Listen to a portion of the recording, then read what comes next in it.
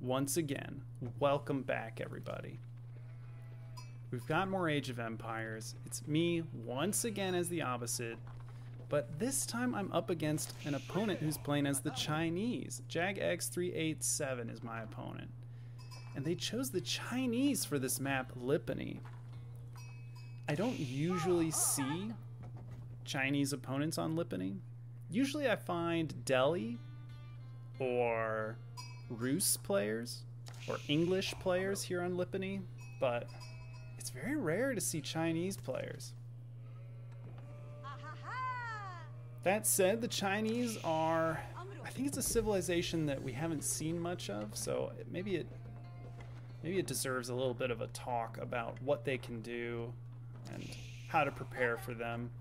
The Chinese, they can do very quick uh, unit composition transitions. So maybe you're being attacked by a bunch of spearmen and you decide, oh, I'll make archers to take care of all their spearmen. Well, suddenly the Chinese can get their imperial officials to, or these imperial imperial officers to oversee their stables. And now the stables produces units twice as fast, and suddenly they've made a ton of horsemen and now your archers have been countered by this big uh, horseman ball. So they're kind of like the Mongols in a sense that they can suddenly push out a bunch of one type of unit just all of a sudden.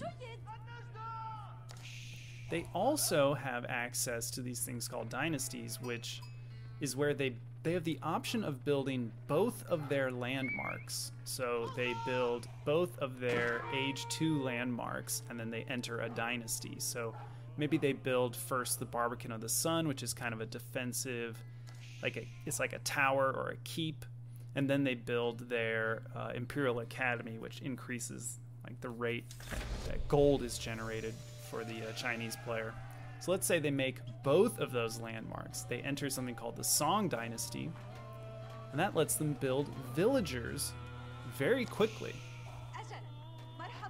So, your opponent could be going for a macro style where they just want to get a big economic advantage by building both of their uh, landmarks and then entering the Song Dynasty and then building a second town center and just mass producing villagers. That could be a strategy to take against me since I'm going with my two town center opening. Maybe he'll have a bigger economic advantage, uh, advantage if he goes for uh, his own kind of economic or macro style play. The game will go very long, but the Chinese, they often get the advantage in longer games. Alternatively, the Chinese can reach the Castle Age very quickly. If they focus on just food and gold, they can all of a sudden make it to the Castle Age and start hitting you with these very strong units. Uh, they have unique man at arms units called Palace Guards, which move very quickly. Oh, and I was happy with this. I decided to send out some horsemen to try and harass his villagers here. You can see that town center with the gunpowder turret does a lot of damage to my horsemen, so I need to keep them out of range. The villagers are pretty nasty too. They take their knives out. They're willing to fight my horsemen. Fortunately, I do have another horseman here. I should probably send him in. And we get a villager. So that was big. But as I was saying, uh, the Chinese could go for that macro style, get into the Song Dynasty, make two town centers, produce a bunch of units, or they can make it to the Castle Age, where they get their unique man at arms unit, the Palace Guard, and they can also get a unique mangonel unit called the Nest of Bees. And nests of bees with uh, man at arms are very strong. You just sort of move out, you protect the nest of bees with your units, and you use the nest of bees to ideally target villagers, because clumped villagers die to nest of bees so fast. One or two good volleys will completely wipe out six villagers, and now the game has just suddenly swung in their favor. Alternatively, you can use the nest of bees to target down archers, and usually people make a lot of archers in the second age, so it can be really strong against people who just mass archers and don't really mix in any other units. Fortunately, I'm not doing that. I'm not just producing archers. In fact, I'm mostly producing horsemen and I'm starting to mix some archers in. I haven't seen too much aggression from my opponent, but I would like to get more archers. The problem is I seem to have accidentally sent villagers to keep gathering stone. I don't need stone. We already have our second town center over here. We're gathering from the deer that are nearby, and we're chopping down the trees that are nearby. We don't need the stone. We can use this extra stone to make walls or to make uh, make emplacements on outposts, but we don't need the stone. I need to get these villagers off of stone. There we go. What I need right now is wood. Yeah, there they go. Axes out. We're going to go chop down some trees. Don't like that this scout is hanging out here. We should probably try and kill it. It's pretty much got eyeballs on my entire army here. So we, we really don't want him sticking around. And we need to scout on our own side here. We need to find out what he's up to. We're seeing more villagers on gold and a lot of villagers on food still. Only one other barracks, which usually when an opponent is going to go early aggression, they make archery ranges rather than barracks. So my opponent's taking kind of a defensive stance here. He can use the barracks to make spearmen and man-at-arms. And yeah, this is his third landmark. This is to get him to the... Uh, to the castle age. So it was a fast castle opening from my opponent. So that means I'm about to be attacked by a mix of man at arms, spearmen, and nest of bees. My opponent will make nest of bees from the astronomical clock tower, and these two barracks are going to make a spearmen and their man at arms unit, the palace guard. I decide to go for a quick counter attack here. This northern uh, divide, this little channel here, we can still make it through.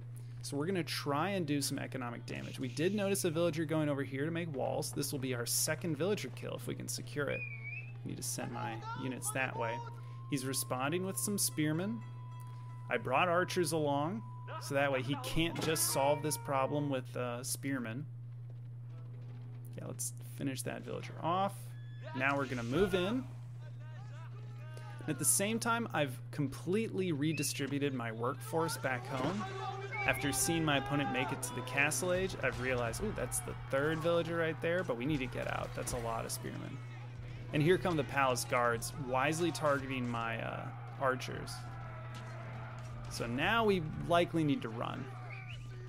Yep, we're gonna have to go the long way around. I don't want to run past his barbican. My units were gonna come through here. We don't want that. We want to go around. And these palace guards move quickly.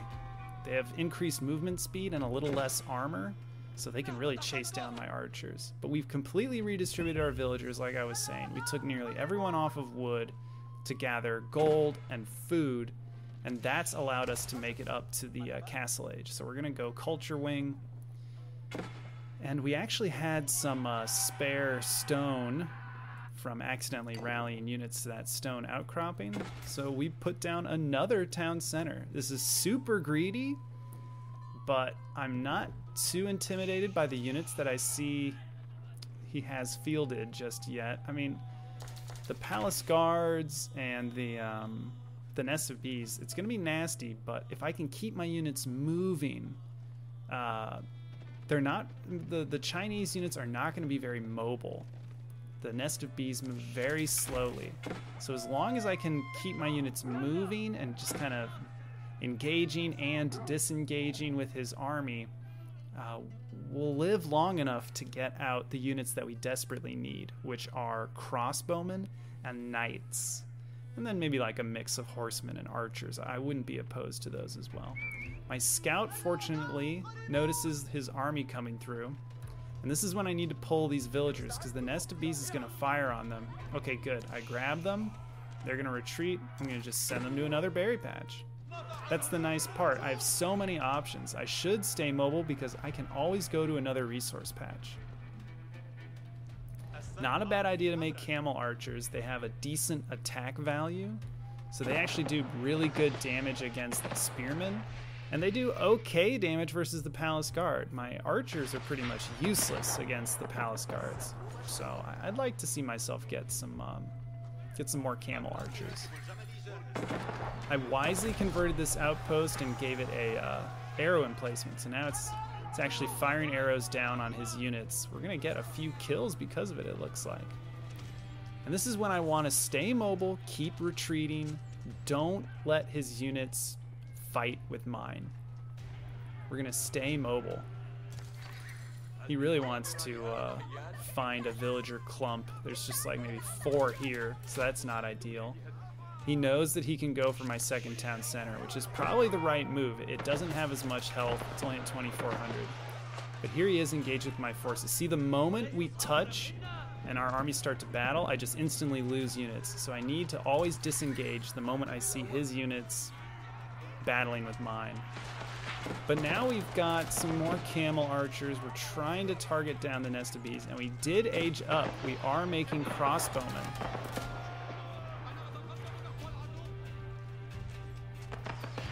So with the crossbowmen engaging, they're very strong against his units. And he accidentally got his units a little too close to my second town center, and we were able to retreat some villagers inside. And they were able to shoot at his units. And so now his army has really thinned out. And he doesn't have any more spearmen because my camel archers just traded so well with them. So now my cavalry are just going to burn down the nest of bees. And I really just don't see any reinforcements coming from him. My scout, great positioning here, just hanging out in the stealth forest. I'm just going to forget about these other units and send my cavalry out to see if we can um, find some villagers out on the map.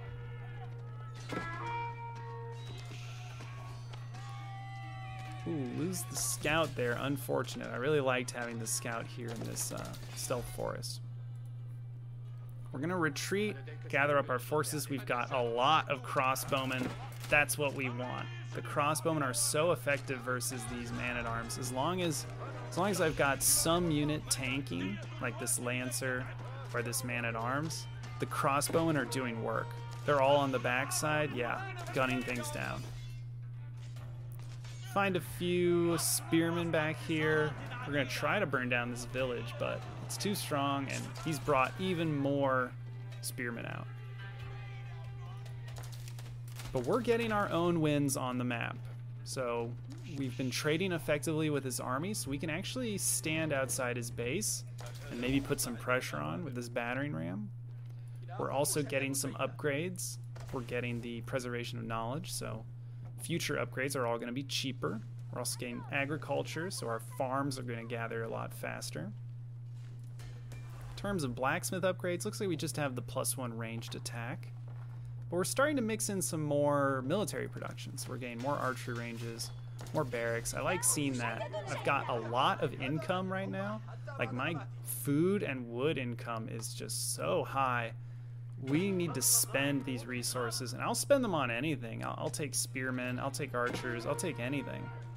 So we send the battering ram forward. He's coming forward with his units. Anything to draw out his uh, palace guards so that my crossbowmen can take shots. But unfortunately, if the nest of bees hits my archers, oof, nasty damage there. But we can retreat. We move a lot quicker than that nest of bees. Ram's trying to get to work on the uh, Barbican, but he's got units here. Oof, oh, my poor crossbowman. We do have cavalry. We can start to attack his nest of bees. And the, the crossbowman ball has stayed pretty healthy. He needs to target fire with his nest of bees. He has to trust that his units are going to defend his uh, nest of bees and that this is doing damage, the Barbican, because he needs to kill these archers. They're the real issue. And he wisely sent his villagers to repair. I'm going to start targeting them down with my archers, but, or my uh, crossbowmen, but we maybe get one or two villagers there. I'm to keep the pressure up. I'm continually making villagers on the back of this, so our, our economy is getting stronger and stronger, and my hope is that we can just overwhelm him with numbers. And it seems to be a good idea because a lot of his villagers are up here on the front lines. If I can send a group to like here, we're gonna start getting villager kills while trading with his army. And we've already gotten maybe four or five villager kills this game so far, so I feel like we have an economic advantage. So there's all that extra military production. We've even got a siege workshop. And we've also put down a mosque. We're going to start to try and grab some uh, relics off the map. In fact, there you go. Looks like I've got my first monk coming out, or my imam. He's got a trebuchet, which is really interesting. I, I haven't really shown any forward buildings except this outpost. Interesting that he goes for the trebuchet, because it's a very expensive unit, and unless you can put it to work right away, I feel like it just isn't worth it. I think he wants springalds and more nests of bees. That would have been my guess, but oh well. So you can see I'm just making whatever units I can. I've got literally everything here. Archers, spearmen, man-at-arms, camel archers, crossbowmen, lancers. We're like, we'll, we'll just take it. If we can make it, we'll make it. We want to just leverage our roaring economy here. We're also going to put down a keep over here. It seemed like a nice spot. We can secure the sacred site. Not sure where the last sacred site is, but I would suspect it's up here in the darkness. That's how Lipany usually has it. Three pretty equally distributed across the center of the map. Getting some more blacksmith upgrades. Military academy, so we'll produce units faster. Looks like we're also getting some melee armor since he has all melee units. That's definitely a good idea. And we'll put down some siege units of our own. This Springald is very good at targeting down uh, the nests of bees that my opponent's been making. And this ram will always help because it'll put pressure on the Barbican. We're just gonna scoop that relic and bring it on home. More military production coming because I just cannot seem to spend my resources fast enough. Gold has been fairly hard to come by. I should probably distribute some villagers from wood to gold or wood to food because we definitely have an excess of wood right now. Oh, those nests of bees do great damage to pretty much any unit. Ouch. But I send some crossbowmen forward to try and get that villager kill at least. Now the Springald's trying to snipe down the nest of bees, but could only do so much. And you can see he's producing units quickly, but I feel like, I mean, my army is just big and growing bigger. I feel like I could just overwhelm him with numbers. And I'm still sending knights around the map to try and find ways into his base, but this was actually walled off. There was a wall right here. My units just didn't understand and they're doubling back. I'll do some walling myself. I really want this sacred site secured. In fact, I think I have, yeah, I have a, a mom heading that way to secure the sacred site. I decide I'm getting advantages on the map. Let's trade armies. I'm almost at 200 and I'm floating all these resources. Let's engage, see if we can't uh, thin armies Really don't want these clock tower nest of bees hitting my archers in the back, so I'm happy that they're fighting with um, my units up front. And I send some crossbowmen to the side, and I'm going to target fire his um, villagers. Like I said, if we're engaging here, he still has villagers out on the map, so we're getting villager kills while we're trading armies. If everything dies, that's fine, the fact that we've already killed five, six villagers over here, that's the real victory. He can't reproduce those too quickly. I mean, he might have gone Song Dynasty on the back of this, but hard to say. Now I don't see any more Nest of Bees, so I can send my ranged units forward. The Springald's hurt, so does the Barbican, but these units, if yeah, if we can get on top of his villagers, that's even more villager kills. That's huge. Oof. Big wins there. Big wins. I'm feeling like my opponent is on the ropes. He's grabbing up relics, but I've already got a sacred site. I think we're going for another. We've got good upgrades. We've got all our 1-1 upgrades. Grabbing more relics. And we're starting to move into our farm economy. We seem to be transitioning to it pretty well. Yeah, in fact, even more farms over here. With these extra units coming in, I don't think my opponent can hold, so he surrenders. It was an interesting matchup. I'm not sure if the fast castle worked out for my opponent as much as he'd hoped it would. Sometimes just getting siege engineering, making a bunch of archers, and putting pressure on my second 10 center is the way to go. Either way, I'm really happy with my scouting, recognizing the fast castle and responding to it appropriately. Hope to catch you for the next game.